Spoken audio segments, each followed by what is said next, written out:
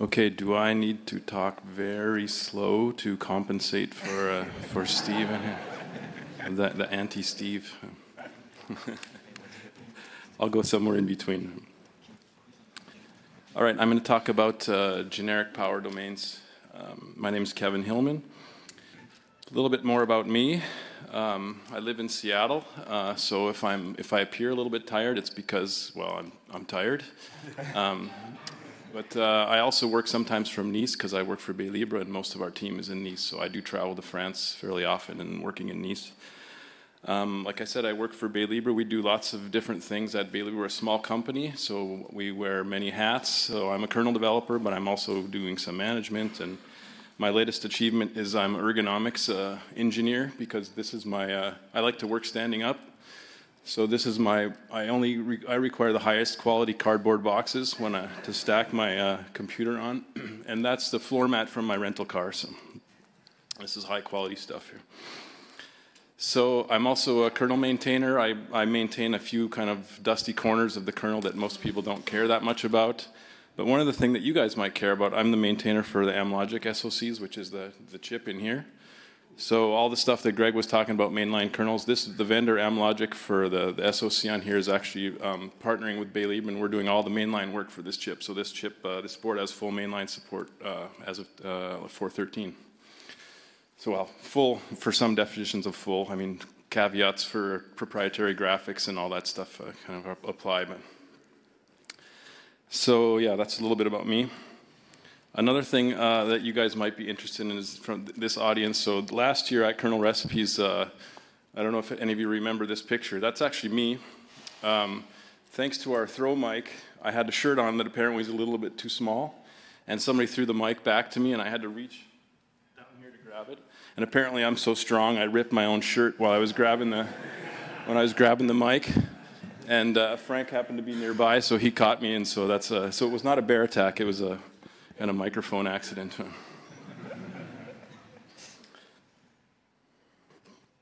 All right, so let's get into the actual uh, actual talk here.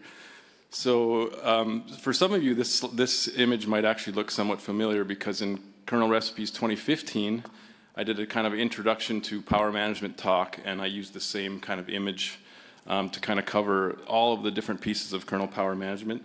So today I'm not going to go into all these details because you can go back and look in the video.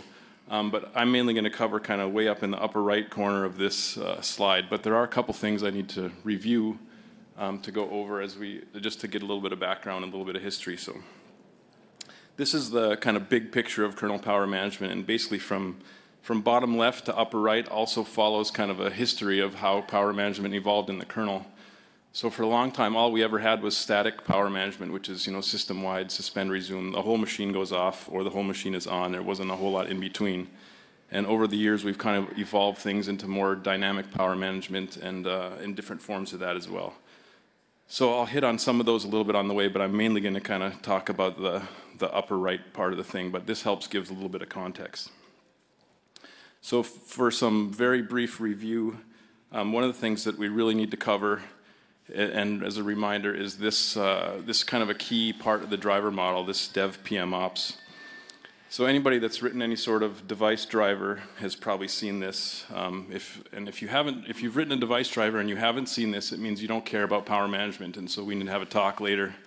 But uh, so if you have written this, you, you've probably seen this. But basically, it's a this dev PM ops. I'm going to come back to this a few times through the talk. So I just wanted to make sure you're familiar with this and if you don't know what it is, you can grep instead of listening to me. But uh, so the, this is really a key part of every driver and the key part of power management for uh, for all sorts of for any power management that's at the driver level. So as a quick reminder, this is what happens when you do a system suspend. So there's a bunch of kind of there's several hooks for platform specific uh, power management. So when you the platform driver for the architecture or for the, the family actually does these things that are on the left side. There's a few callbacks that, are, that happened once for a system-wide suspend. The things on the right are from dev PM ops, and those actually those callbacks get called for every single driver in the platform during a system-wide suspend. So it's just to show that uh, during a suspend, there's lots of different places in your driver where you get hooks to call to hook into. You don't have to implement all these, because um, sometimes core code actually does it for you, but it allows you to hook in. But the important part to remember is this stuff gets called for every single device driver, every single suspend. So at any point in here, this is also what, kind of the common reason why you often have systems that don't suspend, because any one driver that fails one of these or returns an error for any one of these will stop the whole system-wide suspend. So it allows you to, it's very powerful, but also allows you to, to break things. But again, this is dev PM ops, and this is going to be extended to implement the domains that I'm going to be talking about. So I wanted to just kind of do a little reminder, reminder piece on that.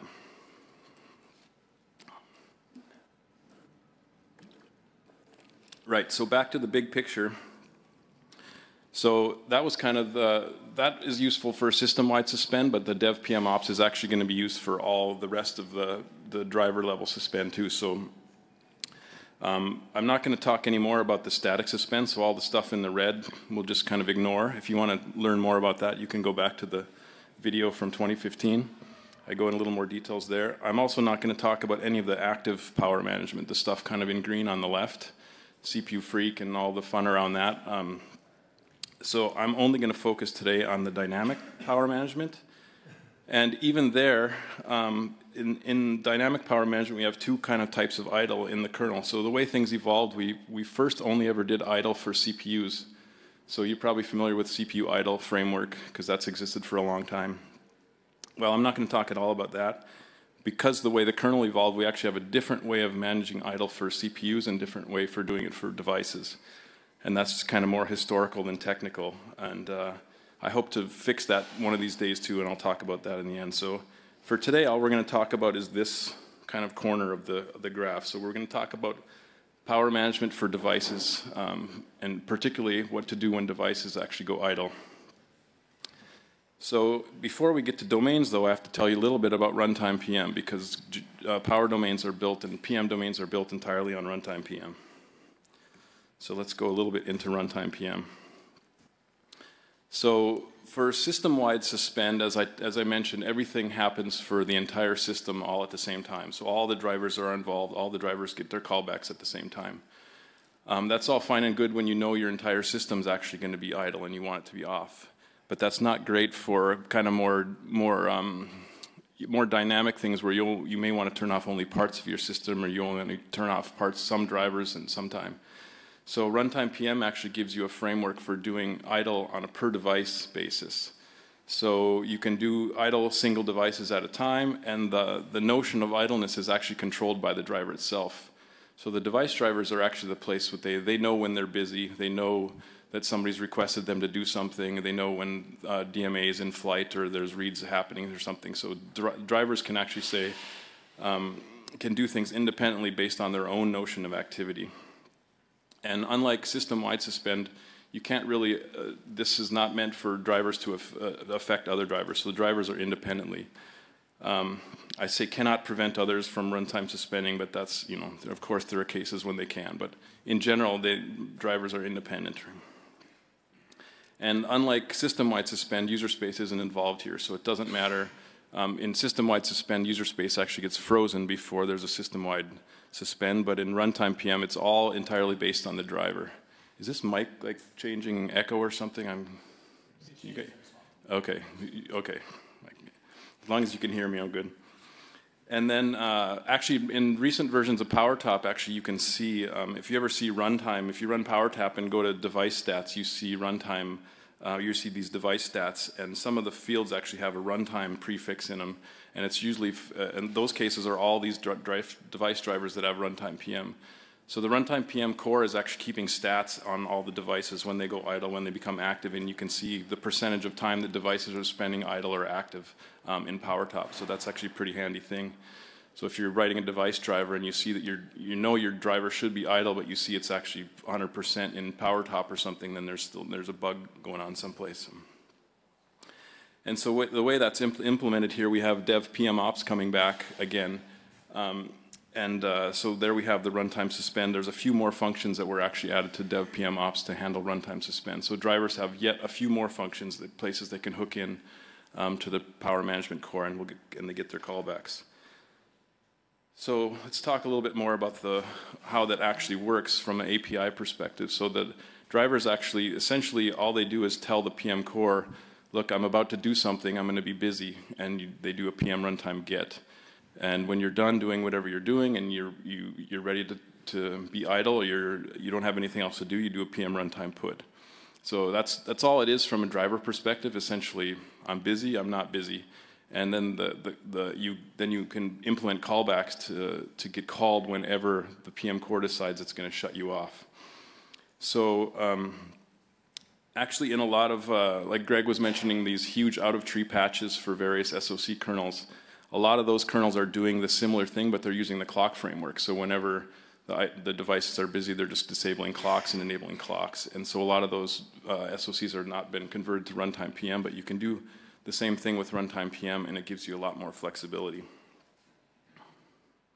By the way, stop me anytime if, if you have questions or if we can, uh, we can stop for questions anytime. Except I don't know where the mic is, but somebody does. okay, good. So let's look a little bit more at the callback. So when you actually, when you actually, um, when a driver says it's busy, it does its, it does its runtime PM put. The, the core is keeping a usage count. So the last time that a driver or instance of a driver does a runtime put, it knows it's busy, and so its use count goes to zero. So looking a little bit closer at what that actually means, um, the driver does a put, and the usage count hits zero, and then it's time for the PM core to say, okay, now that now the thing is really idle, there's no more users, we can runtime suspend this device. And there's one more layer though in there between what the PM core does and what the device does. And that's the typically that's the bus type. So if you have devices on a PCI bus or uh, uh, any other type of bus, there's a layer of code that the bus type implements. And so it's actually the, there's a layering here where the PM core calls the bus type and the bus type calls the device driver.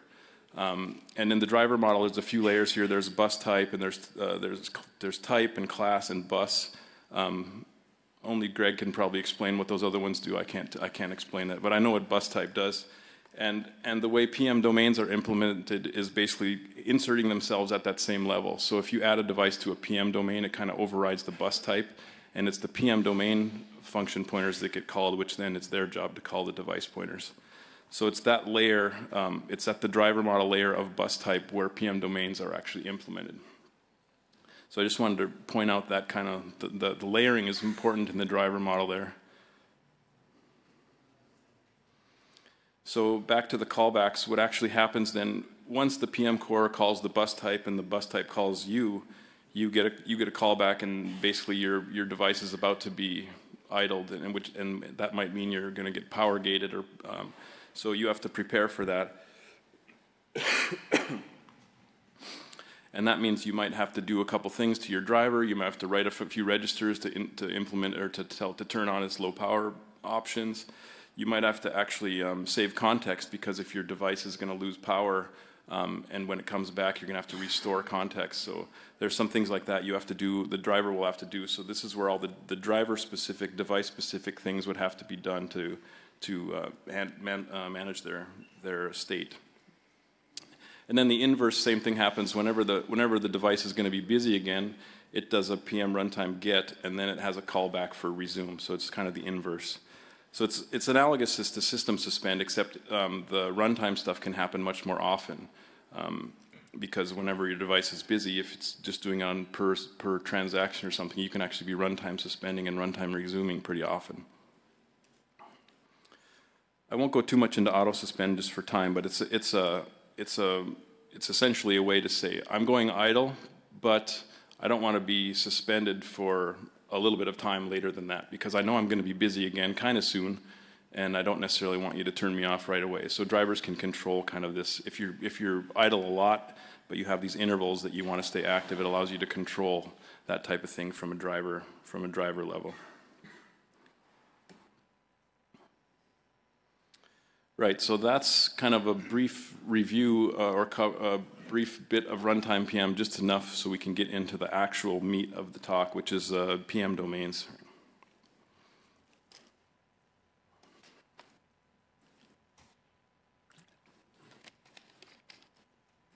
So this is kind of a this is kind of a simple sim simplified version of what kind of a modern SOC looks like. Um, and the, the main thing I wanted to highlight here is all these little blue boxes on many on modern SOCs can be completely independent uh, hardware power domains, so separate voltage rails, independently controlled. They can be turned off independently of all the other ones. Um, and so we've had this type of SOC actually for a while, but the kernel hasn't had a good way of managing this until just a few years ago when we started working on generic power domains and PM domains in general.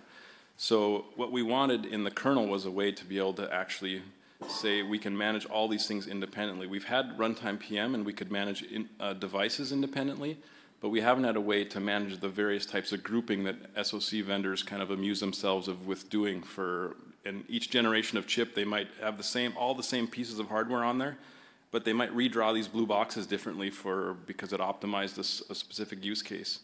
So we needed a good way in the kernel to not only model this type of grouping, but also a way to model that that grouping kind of shifts for different families of the chip or for, for, different, uh, for different IP blocks. And even better, um, the way, especially in ARM land, the way a lot of these chips are built, the same type of IP block is used on an Amlogic SoC. It's also used in a Rockchip SoC and a Qualcomm SoC. And so, and each of those SoC vendors actually group things differently and construct things differently. So we need a good way of kind of defining all that stuff, how those things get grouped together, how those things get gated, and make it so that the driver, them, the driver for that particular IP block should not have to care that it's on a Qualcomm chip or an Amlogic chip, that it's the domain level code that, that can actually manage how those things are integrated. So the Linux PM domains actually uh, was the beginning to that. It allowed us to basically sit at that same level as the bus type and group devices so that we know that devices wanted to have all the same type of callbacks. We can group them in a domain. So it's similar to a bus type, but it's a little bit more arbitrary of a grouping. It doesn't actually have to represent a physical bus because IP blocks can not can be sitting independent, uh, not necessarily even on the same bus, but the SoC designer might have put them all in the same power domain. So we need kind of independent from physical bus. We need this notion of power domains groupings. So that's what we did with PM domains, but we implemented it kind of at the same level as the bus type.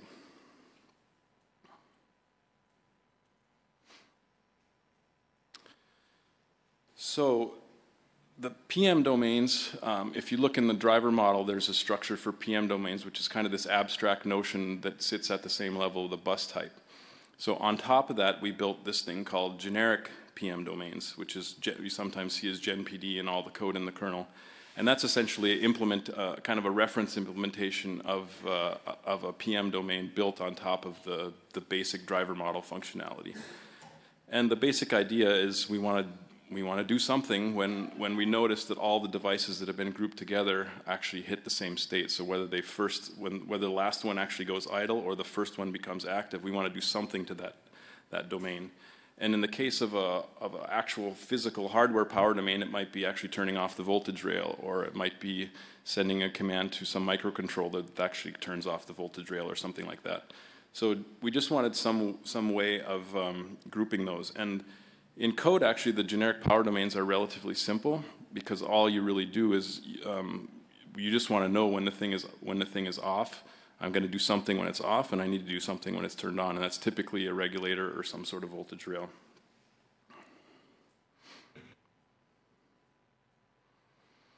So to implement a, a GenPD, actually, the, the primary things are basically, you know, you have to implement the power off side or the, the power off callback and the power on callback.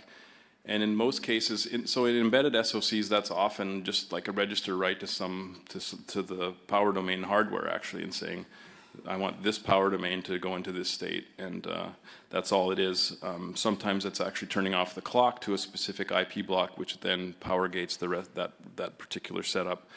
Um, so the, the implementation of the GenPD itself is actually quite simple. How it integrates with everything is, is, is more complicated, but implementing the GenPD, once you know how to kind of turn that device off and turn that device on, it's pretty simple.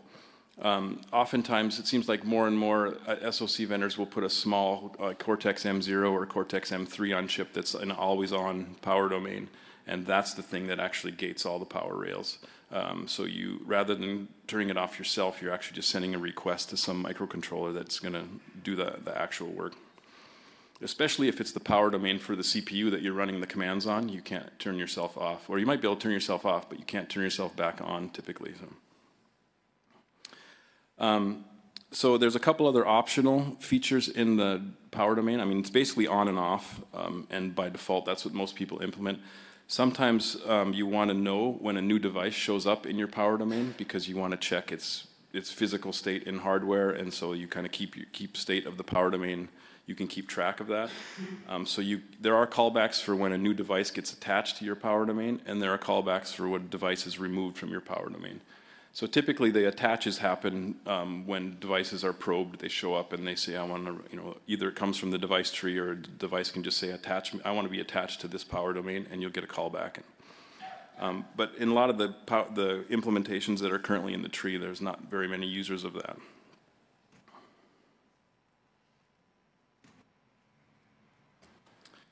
So this is an example of, of, or actually this comes straight from the documentation, the device tree documentation, but this is typically how things are implemented, especially in ARM SOC land. Um, we use the device tree to describe all this stuff. So you describe you describe your power domain um, with the compatible string, string that you actually then it's it's actually that's the string that you match in your the driver the implementation of the power domain itself, um, and you basically define a few things about where the thing exists in hardware. Um, but then the, how devices are attached to it, as you describe your, the rest of your devices in the device tree, you point essentially using the power domains uh, property of your device, you tell it which power domain you're actually hooked up to. So then when your device probes, it's the device tree probe that says, oh, I see this power domain, um, I'm going to actually attach it to that power domain, and then the power domain will get that attached device callback. So you can just this this way you can describe the whole hierarchy of which devices are in which power domains entirely in the device tree. And that way when the SoC vendor changes things for the next rev of the chip, you can reorder all this stuff and you, it's entirely in the device tree description how the how the layout actually happens. So it's pretty powerful that way, is, assuming you don't mind the device tree. But this is all documented pretty well in that documentation file that I referenced there.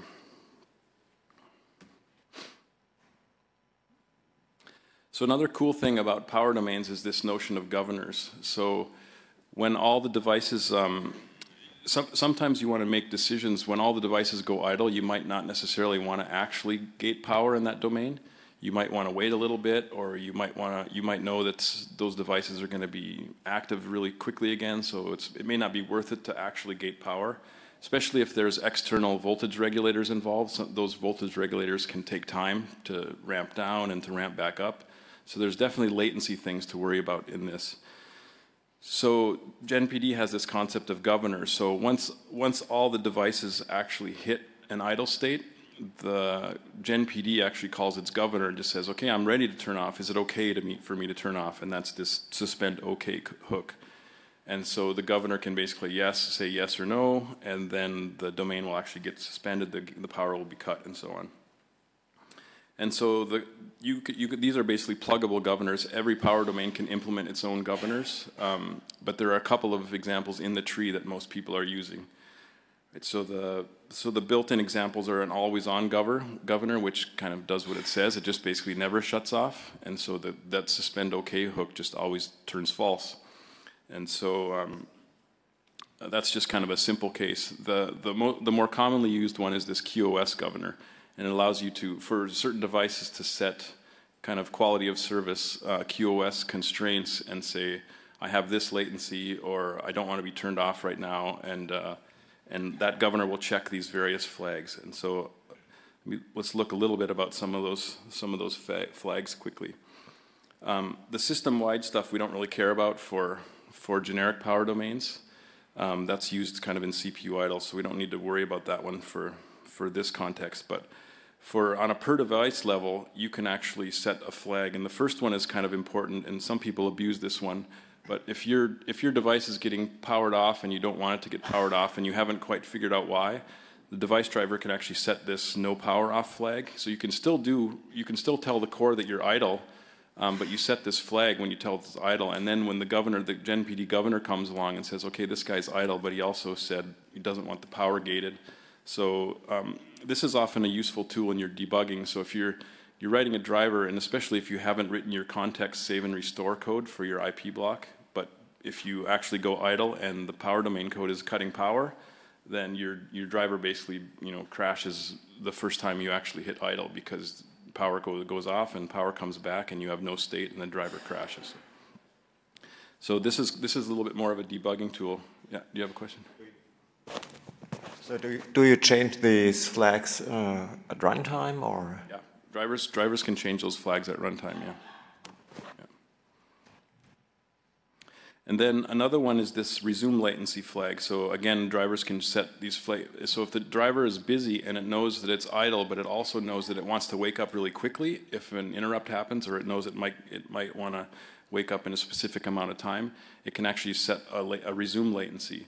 And then the implementation of the power domain itself um, has this notion of how long it typically takes to shut itself off and bring itself on, and it checks the device latency. And if it knows that a, a, particular driver has said, I need to wake up in, you know, five milliseconds, but the actual the time to shut off this power domain is 10 milliseconds, then it's not going to actually shut off that power domain until that constraint actually goes away. And so these are also dynamic. So often a driver will want to do this during a certain phase of its operation. It's really latency sensitive, and it will actually set those flags. And then when it's done with that, it can remove those flags and then actually get power gated again. So it, it gives quite a bit of power over the to the driver about how power gating might actually happen without having to know that much about how things are implemented at the power at the power uh, domain level. We still good? It's lunchtime. You're hungry. I'm hungry too, yeah. So that's kind of the overview. So um, what I also wanted to cover quickly was just kind of what's happened in the last year. So there's been a, a, fair amount of development on generic power domains, especially in the last year. There's been a lot more traction upstream. So about a year ago in 4.8, we had about 18 different platforms kind of using generic power domains. And uh, as of 4.13, we're up to 24 different users. So there's been quite a bit more interest um, in using that, and that's actually made some helped us make some enhancements in the power domain code as well. Um, but it's, so it's getting some traction. It's been actually in the kernel for quite some time, and I've been kind of evangelizing it for a while. But it's taken a long time to get some uptake. But it's you know recently getting some uptake, so that's great. Um, so some other recent additions, we added some statistics and debug stuff. So similar to Runtime PM, where the you can actually look in PowerTop and see some stats about individual devices. We now have those stats for domains themselves. You can see when entire domains are active, when they're inactive, and percentages of time and stuff. We don't yet have PowerTop support for that, so if anybody likes PowerTop and wants a nice thing to add, you know, this would be a great feature in PowerTop as well.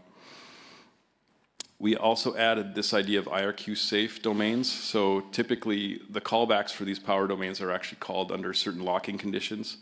Um, but if you have power domains that actually need to run code that's that's in atomic context, um, we didn't actually have support for that, but now we do. So that's recently added. Um, we also the recent feature is this always on domain, so you can still group devices, but say that the domain is always on. And uh, if it's always on, you might wonder why you would even want to describe it in domain. But uh, it's typically because in this chip, it might this block might be in an always-on domain, and the next chip it might be actually in a gateable domain. So you want to actually have the, the concept of both, and be and for that to be flexible.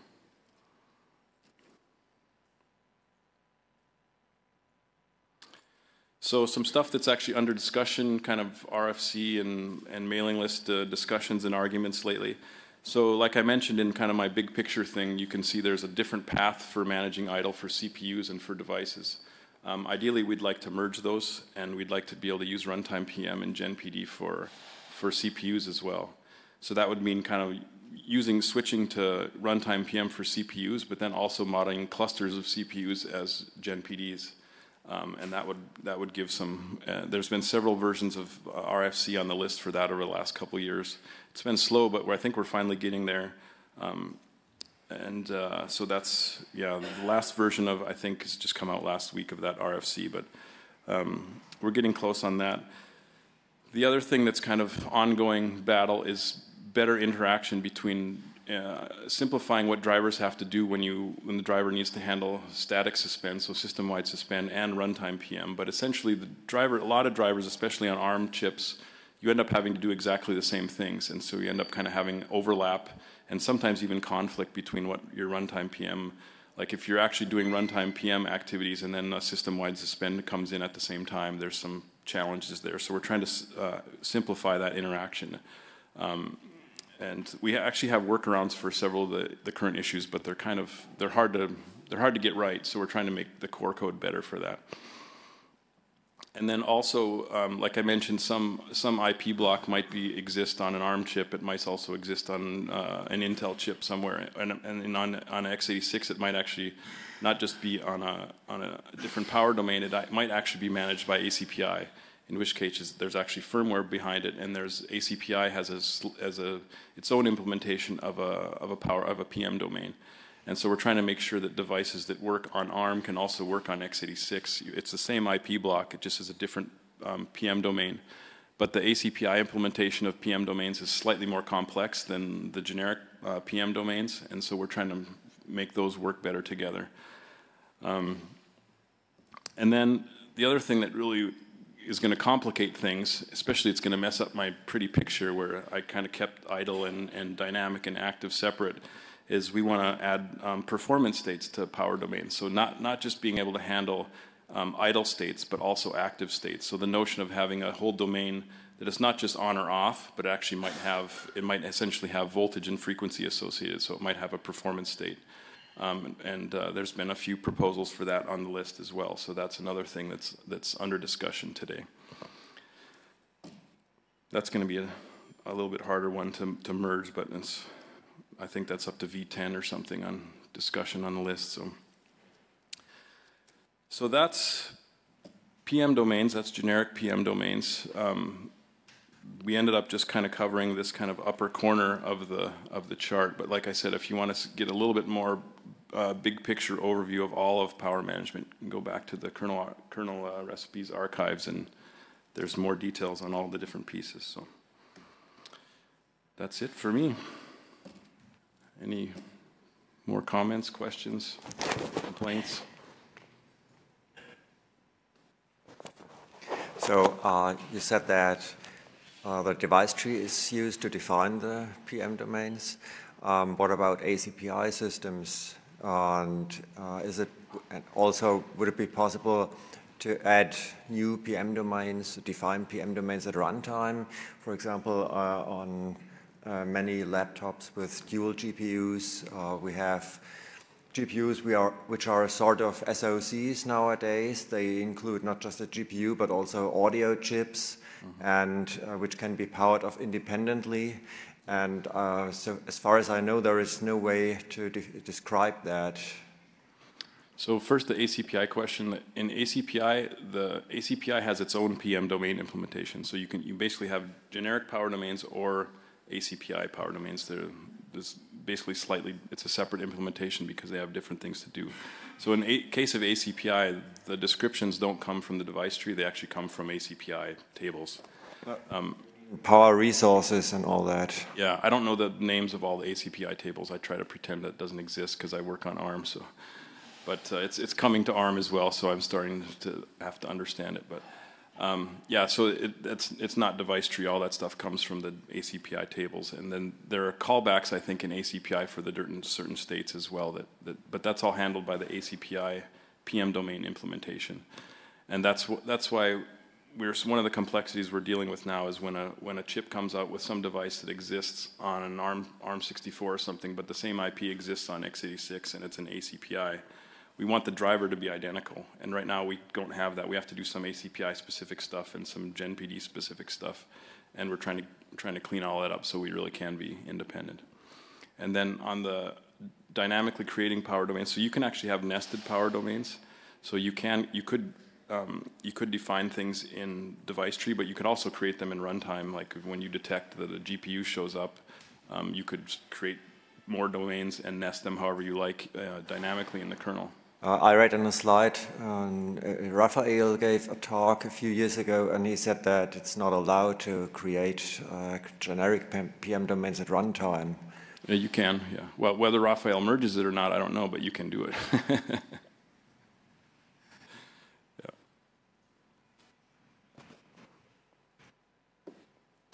Okay. Anybody else? All right. Bon appétit.